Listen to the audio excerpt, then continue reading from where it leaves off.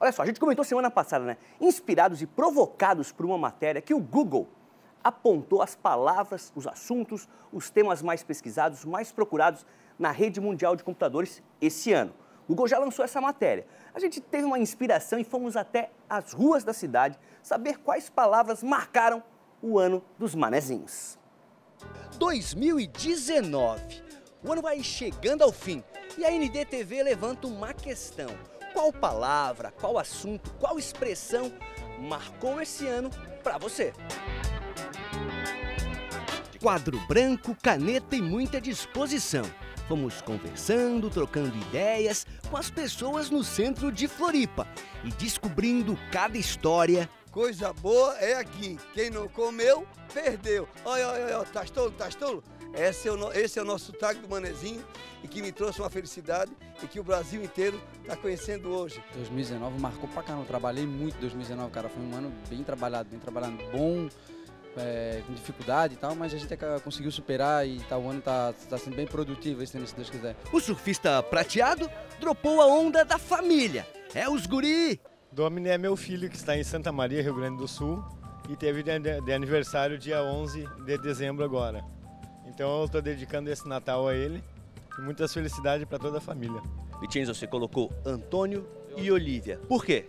Antônio nasceu esse ano, faz cinco meses hoje. É, a minha filha tem sete anos e esse ano cresceu muito, muito rápido. Passou rápido, ela cresceu muito. Foi um ano bom demais, o aspecto da família e o trabalho também. Foi um ano especial. Apesar do ano difícil, muita gente aproveitou para agradecer. Assim que nós chegamos, ele foi abraçado por vários anjos por aqui. Então, assim, a palavra que eu tenho para dizer hoje é gratidão. A vida é uma passagem e a gente tem que aproveitar cada momento, cada tombo para se recuperar e cada salto para agradecer e valorizar o quanto você se esforçou para concluir aquele obstáculo, aquela meta, aquele foco. Não temos paz. Por quê? Porque nós não temos um, um, uma união ninguém compartilha nada, o povo cada um quer para si. E nós temos paz e compartilhar tudo que temos com as pessoas. Oi vai ficar marcado, porque eu escolhi essa cidade para criar meus filhos. Meus filhos já estão criados para criar minhas netas, que estão tudo aí comigo, né? E é, é um sonho de consumo, meu filho que é especial, né? Estou correndo atrás da pai também, que é espetacular. E é, não tem palavra, é, eu senti a emoção de estar aqui, sabe? Você escreveu fé. Por quê? Ah, porque passei um perrengue meio no meio do ano, né? Daí eu escrevi uma tatuagem com tudo posso naquele que me fortalece. É o que define a minha fé, tipo, sempre acreditando, eu posso, eu consigo. E é no calçadão de Floripa que os grandes encontros acontecem. O Israel Rodrigo é músico, acabou de lançar o clipe da música Sai da Frente. A gente vai assistir aqui para ver se é, se é bom. Coloca aí na tela.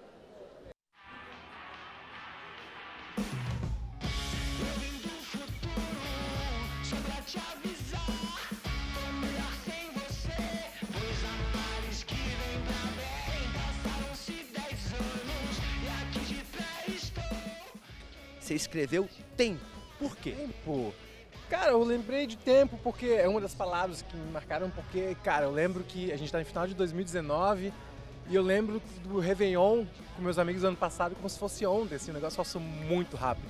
Então, é uma coisa que, tipo assim, o tempo realmente passa para nós. Eu acho que a partir de uma certa idade ele passa mais rápido ainda, né? Então, acho que a gente tem que aproveitar cada vez. Acho que é o que a gente tem mais valioso hoje em dia é o tempo.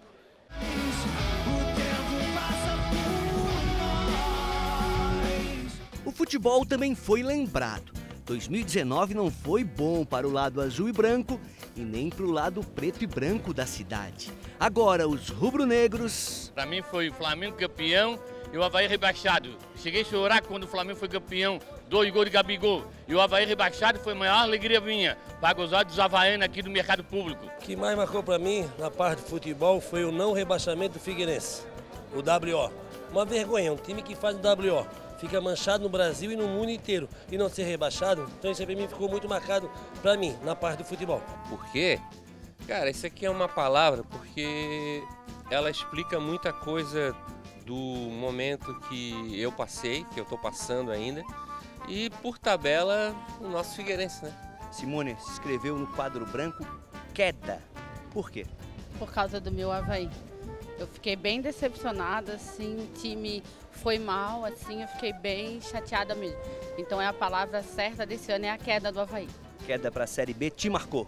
Marcou bastante. Dona Sandra, o pessoal escreveu aqui, ó, viagens, amizade, felicidades, amigas viajonas, palavras que marcaram 2019.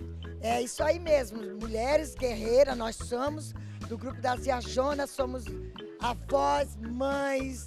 Ai, nós somos demais, nós somos amarela. Adoro essas mulheradas, trabalhemos, estudemos, tudo mulheres guerreiras. Quem tá gostando de Floripa, quem gosta de Floripa, faz uma bagunça aí, faz um barulho.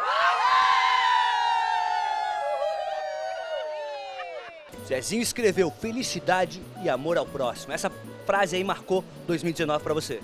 Sim, marcou 2019 para mim, porque eu estando com saúde e vendo a, as pessoas que estão precisando, né? Ah, que é o próximo, né?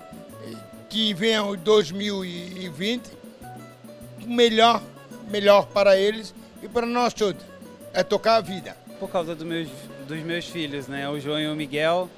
Hoje, graças a Deus, fazendo a medicação e é vida. Esse ano para mim foi muita vida. Prates, Luiz Carlos Prates. Luiz Carlos é o seguinte, eu acompanho ele há quase 40 anos, desde que ele trabalhava na TV Dourado de Criciúma. Eu sou fã dele desde aquela época, né? O que for bem feito é aplaudido e o que não for bem feito tem que ser corrigido. O Bruno Barba é artista plástico. São dele as mulheres e homens negros pintados em caixas de energia espalhadas pela cidade. Palavras de 2019? Tinta, cores, desenhos? Não. Ouvir. Dentro de todas as dificuldades sociais, toda a individualidade das pessoas que está acirrada, talvez, com, as, com, essa, com esse universo das redes sociais, é, eu acho que é uma palavra simbólica porque as pessoas estão com dificuldade de ouvir. É, as pessoas têm opinião para tudo, com base em vivências que talvez elas nem, nem nunca tiveram. Então eu acho que é uma palavra que para mim foi importante esse ano e que eu gostaria que fosse importante para as pessoas ao longo dos anos. Olha, o ano não foi fácil não, né? Tem gente que perdeu a cabeça em 2019 nosso artista escreveu sinceridade. E a sinceridade dele tá aqui, ó. Pra comida, pro aluguel, moedinha pra igreja, pro cigarro, pra cachaça e cerveja, pra vida louca. Pelo menos sou sincero. Feliz Natal, muito obrigado. Vou colocar a moedinha aqui, a minha contribuição. Pra comida, né? Porque com a barriga vazia não é legal, mas pra vida louca também. Muita animação, muita felicidade em 2020.